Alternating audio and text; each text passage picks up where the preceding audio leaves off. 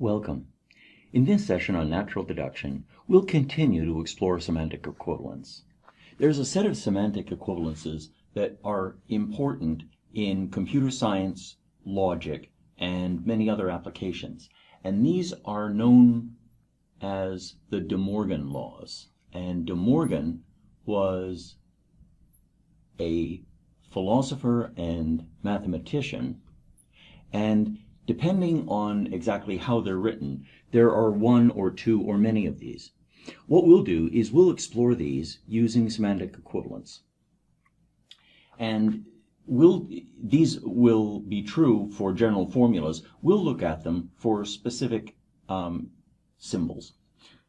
So suppose that we have two symbols, P and Q, and what we want to do is we'll first write out our truth table, which we do in our now familiar and almost mechanical method. And what we'd like to do is let's explore this idea.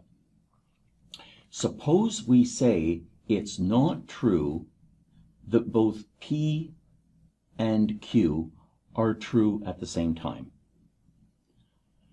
If we reason this out using just ordinary reasoning, we'll say, well, if it's not true that P and Q are simultaneously true, then at least one of them has to be false. And what we can do is we can, so we, we have this idea, right? Let's write down the truth table for this formula first, and then we'll go through that bit of reasoning. So the truth table for this is P and Q are true here, and that means their negation is false. P and Q are false here, so the negation is true. P and Q are false, so the negation is true. P and Q are false, so the negation is true.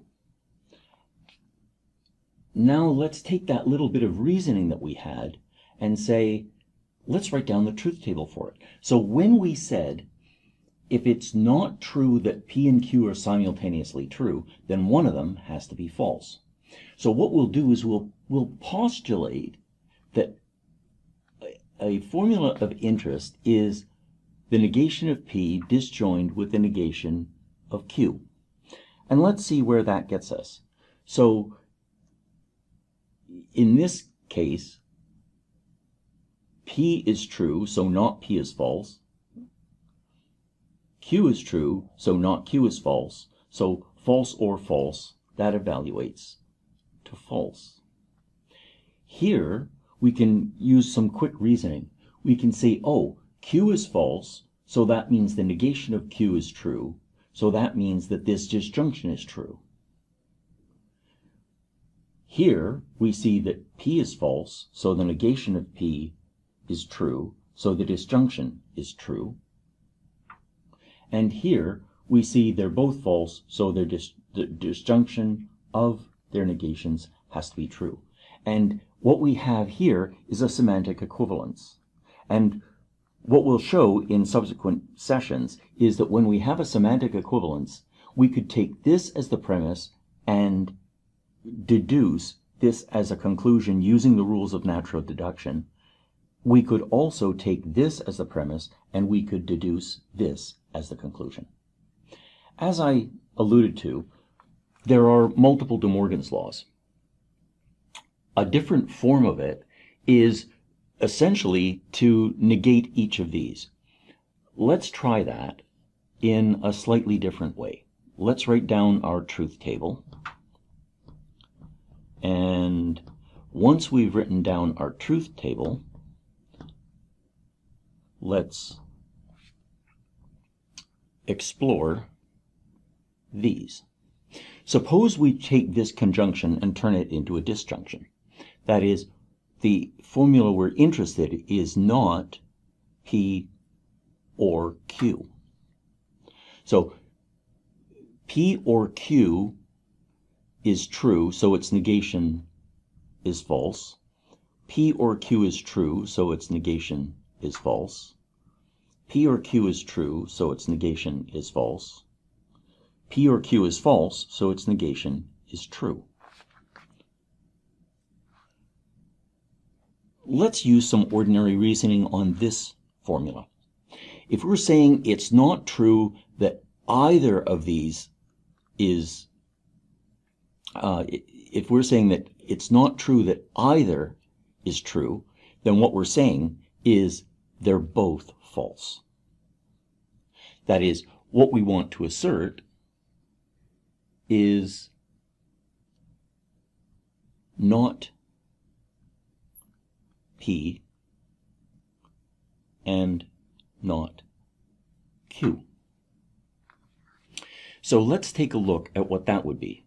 So P is false, eh, so P is true, so not P is false, so the conjunction must be false. Here we use the same reasoning. P is false, so not P is false, so the conjunction must be false. Here, Q is true, so not Q is false, so the conjunction must be false. And here, P is false, so its conjunction is true, so its negation is true. Here, Q is false, so its negation is true. The conjunction of trues is true. And what we have is a different semantic equivalence. What we have here is that if we take this formula as a premise, we can conclude this formula. And likewise, we could take this formula as a premise and we could conclude this formula. So this idea of semantic equivalence has an interprovability that we want to explore in a subsequent session.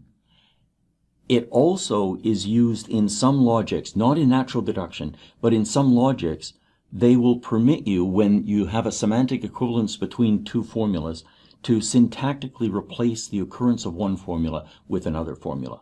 We don't do that in natural deduction, but we may do it in our meta logic if it helps us.